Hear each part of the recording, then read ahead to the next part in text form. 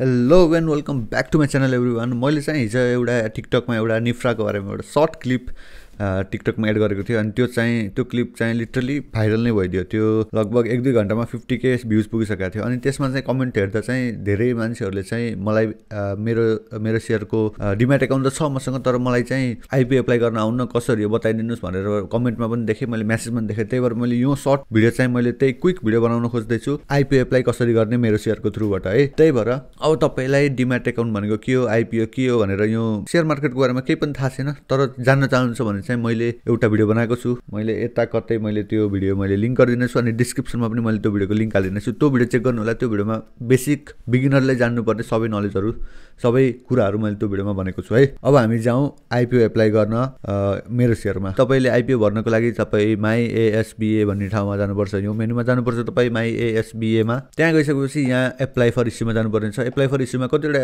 IPO खुलिरहेको छ अहिले यहाँ नेपाल इन्फ्रास्ट्रक्चर ब्याङ्कको आइपिओ खुलेको छ। जेनरल पब्लिकको लागि अर्डिनरी सेयर्स भन्ने खुलेको छ। अब एप्लाई गर्न चाहिँ हामी एप्लाई भन्ने बटनमा क्लिक गर्नुपर्छ। ओके अब चाहिँ यहाँ तपाईँलाई सबै डिटेल देखाउँछ है। तपाईँलाई यहाँ total number of share issue कतिवटा छ? आठ करोड छ सेयर इस्यु मिनिमम क्वान्टिटी कति एप्लाई गर्न सकिन्छ?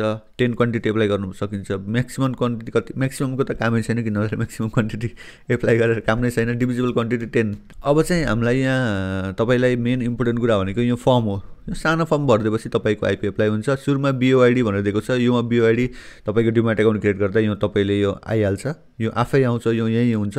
तपाईँले यसलाई टाइप गर्नु पर्दैन। अब अब चाहिँ यहाँ ब्याङ्क भनेर दिएको छ। ब्याङ्कमा चाहिँ तपाईँले कुन ब्याङ्कबाट डिमाट एकाउन्ट बनाउनु भएको छ?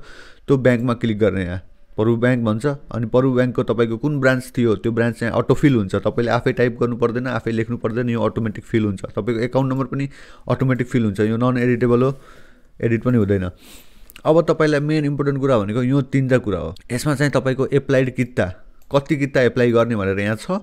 अनि एमाउन्ट कति किता जस्तै मैले दस किता एप्लाई गरेँ भने हजार रुपियाँ हुने भयो भनेर यहाँ तपाईँलाई अटोफिल हुन्छ यो। त्यही भएर एप्लाइड किता आफूले कति किता एप्लाई गर्ने भनेर यदि इन्फ्रास्ट्रक्चर ब्याङ्कको भने आठ करोड सेयर युनिट छ इन्फ्रास्ट्रक्चर ब्याङ्कको त्यसमा तपाईँको डिमेट एकाउन्ट हेर्नु भने चौबिस लाखको छ। त्यही भएर चौबिस लाखजनाले नै एप्लाई गर्यो भने पनि तपाईँको एकजनालाई तेत्तिस सेयर पर्ने चान्स छ। त्यही भएर आई थिङ्क इन्फ्रास्ट्रक्चर ब्याङ्कको हेर्ने भने चाहिँ तपाईँको मिनिमम फिफ्टी सेयर चाहिँ जहाँसम्म पर्छ होला। किन भन्दाखेरि चौबिस लाख एकाउन्ट भएका युजरहरूले सबैले एप्लाई गर्दैन नगर्न पनि सक्छन् आइपिओ कसैले दस युनिट बिस युनिट पनि गर्न सक्छन्। त्यही भएर I think fifty unit to hundred unit चाहिँ पर्ने चान्स छ यसमा। तर चौबिस लाखजनाले सबै आएर चौबिस लाखजना युजरले नै पचास पचास हन्ड्रेड किता एप्लाई गर्न थाल्यो भने त बर्बादै हुन्छ है। तर त्यस्तो नहोला। त्यही भएर तपाईँलाई फिफ्टीदेखि हन्ड्रेड युनिट पर्ने चान्स छ यसमा। त्यही भएर आफूसँग जति पैसा छ त्यो अनुसार एप्लाई गर्नुहोस्। पैसा अलिक कमी छ भने पाँच फिफ्टी युनिट एप्लाई गर्नु जसको लागि पाँच हजार लाग्छ। पैसा छ आफूसँग भने चाहिँ हन्ड्रेड युनिट एप्लाई गर्नु त्यसको लागि दस हजार लाग्छ। अब यहाँ चाहिँ मैले यो अझ मैले एप्लाई चाहिँ अहिले भर्खरै गर्दिनँ। मैले बस यो देखाउनुको लागि गर्दैछु।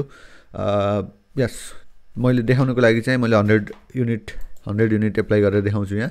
मलाई दस हजार दिनु पऱ्यो अब यो सिआरएन नम्बर भनेको चाहिँ तपाईँसँग सिआरएन नम्बर हुनुपर्छ। यो चाहिँ मेन इम्पोर्टेन्ट कुरा हो।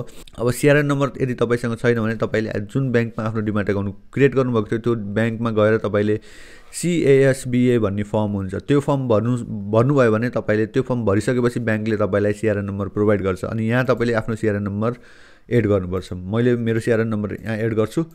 अनि I hereby declare that भनेर यो डिक्लेरेसन गर्नुपर्छ अनि प्रोसिडमा क्लिक गर्नुपर्छ। मैले प्रोसिडमा क्लिक गर्दिनँ किन भन्दाखेरि मैले भर्खरै एप्लाई गर्दिनँ यो आइपिओ मैले भर्खरै एप्लाई गर्दिनँ। मैले लास्ट आवरमा मैले एप्लाई गर्ने गरेको छु सधैँ।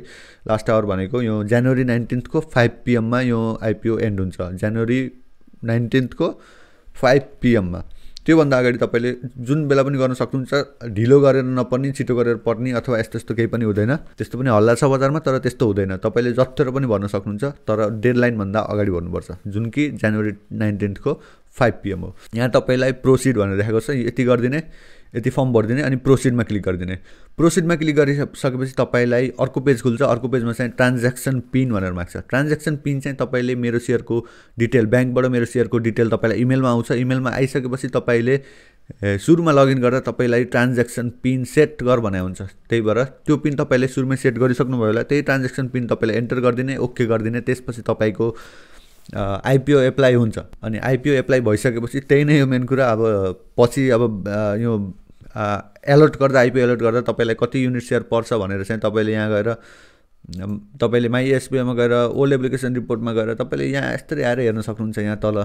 कतिवटा एप्लाई पऱ्यो पऱ्यो आफूलाई भनेर एलर्टेड टेन युनिट एलर्ट पायो भनेर यहाँ तपाईँले आएर हेर्न सक्नुहुन्छ।